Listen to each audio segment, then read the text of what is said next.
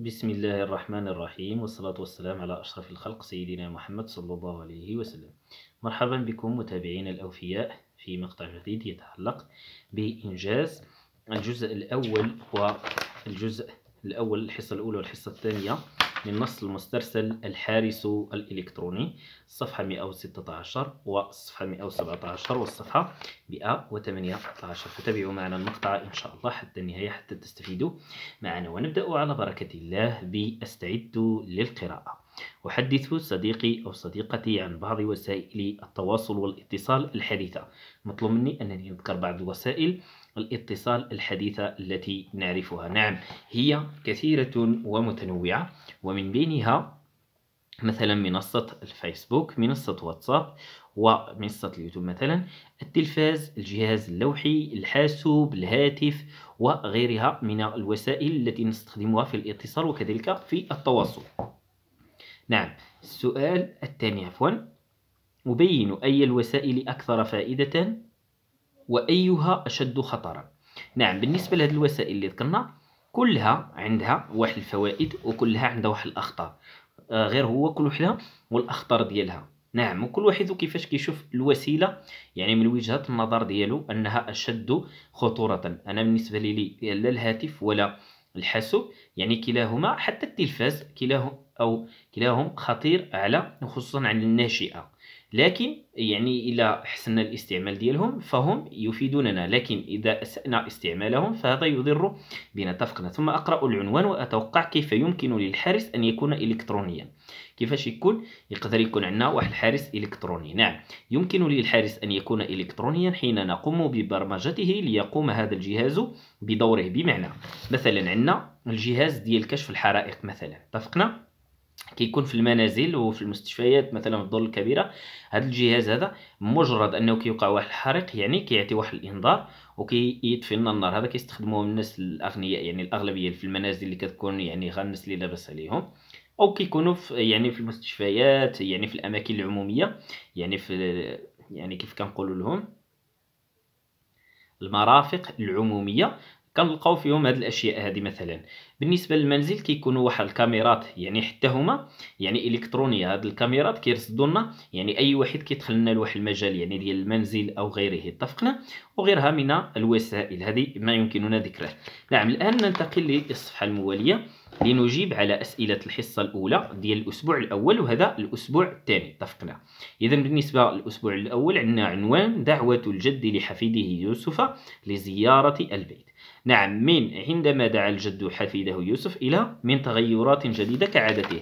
يعني من الانطلاق ديالنا من النص من هنايا عندما دعا الجد نعم حتى لهنا كعادته. يعني النهاية ها هي الفقرة الثانية كتبدأ من رقم اثنان. نعم جيد.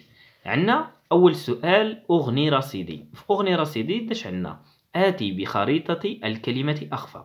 الخريطة ديال الكلمة هي مطلوب منا نحدو النوع ديالها الضد ديالها المرادف ديالها والتركيب ديال هذه الكلمة في جملة. اذا التركيب ديال هذه الجملة أو الخطط الخاصة بهذه الجملة عندنا أخفى. نعم النوع ديال هذه الكلمة هذه فعل. نعم المرادف ديال أخفى بمعنى خبأ. يعني خفيتي شي حاجة بمعنى خبأتي واحد الحاجة ما بغيتيش تبان لشي واحد آخر. اتفقنا. ضدها أظهر بمعنى هذه الحاجة اللي خفيتها وريتها للناس. اتفقنا. إذا أظهر. تركيبها في جملة مثلا أخفى أخي لعبه.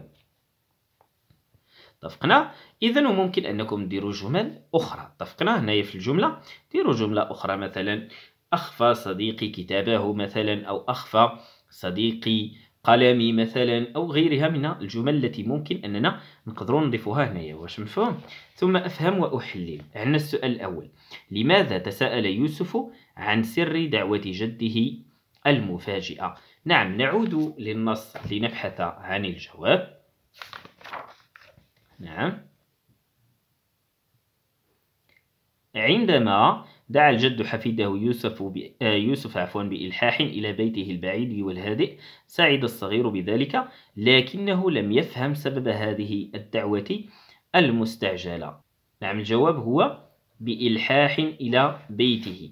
نعم إذا الجواب ديالنا تساءل يوسف عن سر دعوة جده المفاجئة لأن الجد دعا حفيده بإلحاح شديد وهذا ما جعله يتساءل. نعم. السؤال الثاني. السؤال الثاني مطلوب مني. أحدد السبب الذي جعل الجد ينعت حفيده بالعبقري الصغير. نعم الجواب ديالنا كذلك. من النص. نعم هنا الجد. نعم. لم يكن يدري أن وراءها خبرته الكبيرة بالحاسوب. اتفقنا؟ إذا هنايا كان الطفل ما كيعرفش يعني ما كانش عارف أن يعني يعني هذا يعني جدو عيط له غير حيت هو عنده واحد الخبرة ماشي غير حيت ولكن حيت عنده واحد الخبرة كبيرة بالحاسوب وبغى يساعده اتفقنا؟ إذا الجواب ديالنا. نعم السبب الذي جعل الجد ينعت حفيده بالعبقري الصغير لأن يوسف لديه خبرة كبيرة بالحاسوب. مفهوم؟ يلا نمشيو للسؤال الموالي. أركب وأقوم مطلوب مني ألخص الجزء الأول من النص. يعني غندير واحد التلخيص صغير للنص. نعم التلخيص هو آه، حضور عفوا يوسف لبيت جده بعد إلحاح منه وتفاجؤه بسبب الدعوة المفاجئة وتجوله في البيت ليرى ما أحدثه جده من تغييرات. جيد. الآن الجزء الثاني من النص. عندنا السؤال الأول في أغني رصيدي. أربط الكلمات رمى بمعناها حسب السياق. أن الجملة رمى يوسف بصره ببصره عفوا إلى الغرفة. رمى يوسف الكرة رمى يوسف القمامة. هنا طرحها وتخلص منها بصر ولمح وهنا قذف. إذا بمعنى رمى يوسف ببصره إلى الغرفة بمعنى بصر ولمح. نعم رمى يوسف الكرة بمعنى قذف الكرة. نعم رمى يوسف القمامة بمعنى طرحها وتخلص منها. نعم السؤال الثاني. أذكر السبب الذي جعل الجد يفكر في تأجيل السفر نعم نعود للنص. نعم. هنا يعني إن أكثر ما يزعجني يا يوسف أثناء سفري هم اللصوص. إذا السبب اللي خلاه أنه يحاول أنه يأجل السفر ديالو نعم هو خوفه من اللصوص. إذا الجواب ديالنا السبب الذي جعل الجد يفكر في تأجيل السفر هو الخوف من اللصوص. يخاف من سرقة ممتلكاته. نعم. هنا أربط هذه الصفات بأصحابها.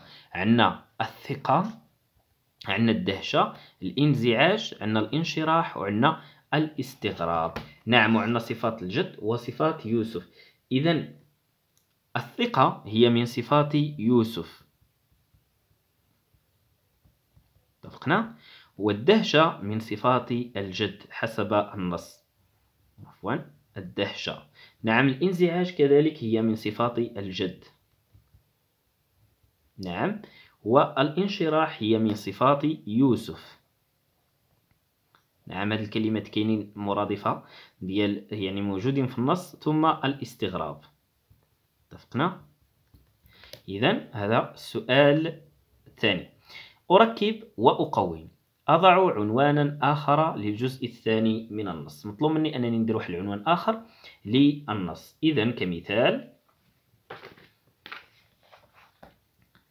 الحارس الإلكتروني أو الحارس الليلي اتفقنا؟ إذا الحارس الإلكتروني أو الحارس الليلي. وبهذا نكون قد وصلنا لنهاية هذا الدرس. شكرا لكم على متابعتكم. أتمنى أن ألقاكم في مقطع لاحق ولا تنسوا الاشتراك وتفعيل زر الجرس ليصلكم جميع دروس المستوى الخامس ابتدائي إن شاء الله. وإلى اللقاء.